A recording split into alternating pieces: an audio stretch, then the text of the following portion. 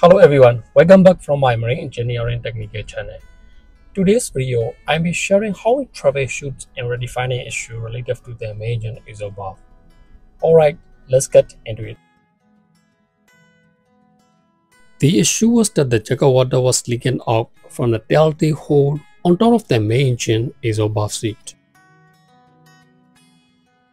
Let's take a look at the structure of the exhaust seat. If the O-ring located at the bottom of the valve seat fails to see properly, jacket water will rise from below and leak out through the dirty hole on top. Let's see how to remove the exhaust valve from the main engine and investigate what went wrong. We will first isolate the necessary bulbs and lock the starting arrangements before beginning the work. Loosen and remove the screws fastening the high-pressure pipe to the oil cylinder and hydraulic actuator. Dismount the drain pipe from the exhaust to the hydraulic actuator, the pipe for pneumatic closing of the exhaust and the sealing air pipe.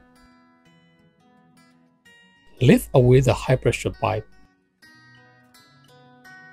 Remove the protective cups from the exhaust studs and mount two hydraulic jacks diagonally. Raise hydraulic pressure, then loosen and remove the hydraulic nuts. Move the jacks and spacer rings to the next two nuts and loosen those as well. Only raise the hydraulic pressure to the level recommended by the maker.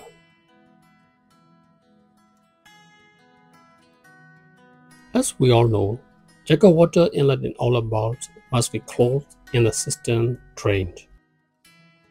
After that, dismount the of water the pipe.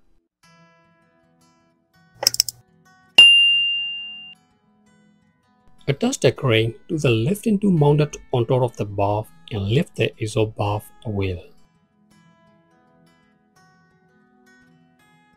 Before lifting, Connect compressed air to the pneumatic piston to keep the valve closed during dismantling. As you can see, the O-ring at the lower part of the exhaust valve is damaged and deformed. This is likely the root cause of the issue. We replace the damaged O-ring with a new one.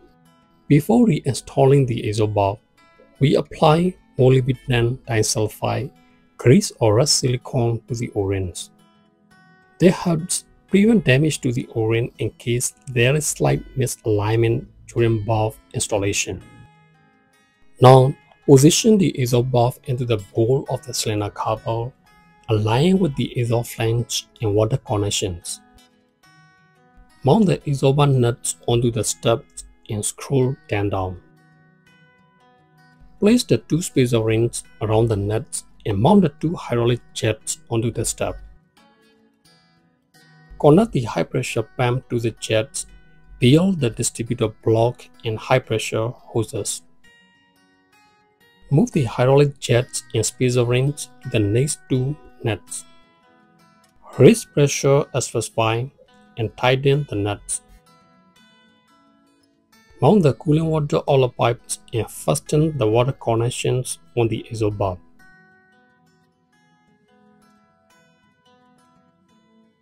Mount the return wine pipe. Mount the sealing air pipe and the pipe for pneumatic closing of the exhaust valve.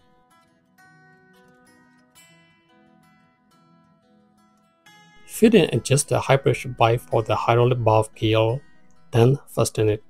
Close the drain bulbs and open the cooling water inlet. Once the jacket water pump is running and we inspect the area around the exhaust valve we can confirm there are no leaks.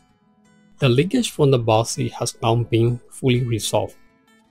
If you found this video helpful, please give it a like. And don't forget to subscribe so you can keep learning from upcoming contents.